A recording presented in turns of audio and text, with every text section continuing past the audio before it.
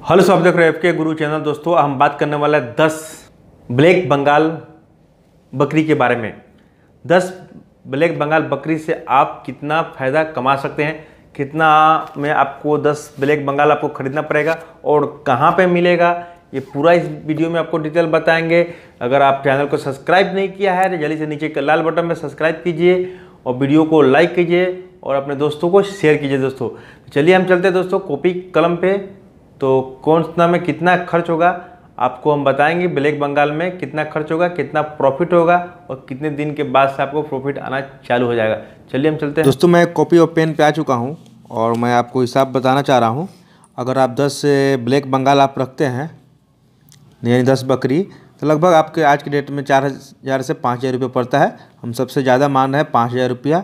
मान रहा हूँ तो दस का पचास हज़ार रुपया हो गया और एक साल में दस जो बच्चा है आपको अगर पाल रहे उसको अगर गाभिन लेके आ रहे हो तो जल्दी बच्चा देगी। गाभिन लेके नहीं आ रहे हो, फिर भी छः महीने के बाद, पाँच महीने के बाद से वो बच्चा देना चालू कर देगी दोस्तों।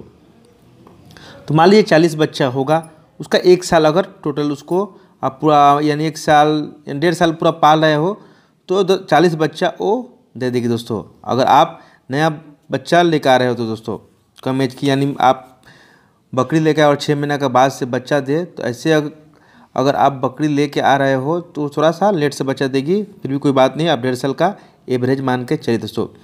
अब उसमें क्या करना है छः महीने के बाद जो बच्चा देगी दोस्तों, अगर एक साल होते होते वो छः महीने का, वो बच्चा हो जाएगा तो दस इंटू दो, यानी कम से कम दो बच्चा एक बकरी देती है दोस्तों।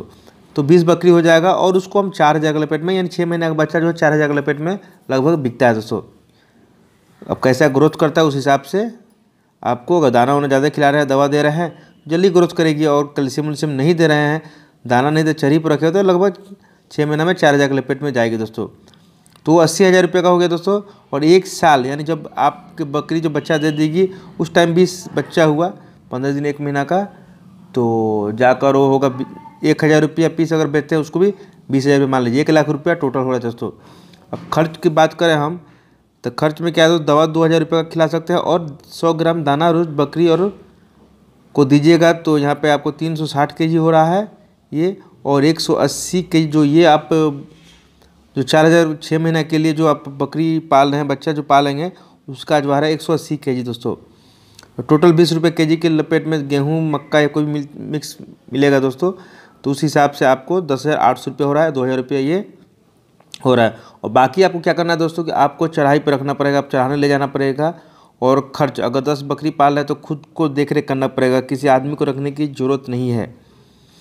नॉर्मल दाना इतना खिला सकते हो, उसके बाद से घास, भूसा, जो भी है, पत्ता उत्ता आप पे या जो भी लाकर आप खिला सकते हैं दोस्तों। उसमें कोई खास खर्च नहीं लगता, उसमें मेहनत लगता है दोस्तों। तो अगर आप इस तरह कर रहे हैं तो आप लगभग एक बार अगर आप अपना मुर्गी पाल दोस्तों, अगर एक बार आप बकरी पाल रहे हो तो लगभग आपका खर्च जो है, डेढ़ साल में पूरा निकल जाएगा दोस्तों। उसके बाद से आपको बेनिफिट ही बेनिफिट होगा दोस्तों। क्योंकि जब ये भी बड़ी हो जाएगी और ये भी डेढ़ साल में, एक साल में बेचोगे तो ज़्यादा पैसा मिलेगा दोनों का तो फिर आपको इनकम नज़र आएगा। मगर हम डेढ़ साल के लपेट में एक अंदाजन बता दिया हूँ कि आपको जो है, आपका कुछ ना कुछ दस बकरी पे आपको तीस से पैंतीस रुपये बचेगा और आपका जो खर्च लगा वो निकल जाएगा दोस्तों। दस बकरी के लिए कोई खास सेट की ज़रूरत नहीं है। वहाँ जब ज़्यादा बड़ा होगा तो आपको कहीं सेट या घर कहीं फिर उसको रूम देना पड़ेगा दोस्तों। तो चलिए हम मिलते मिलते हैं नेक्स्ट वीडियो में। Thank you for watching bye bye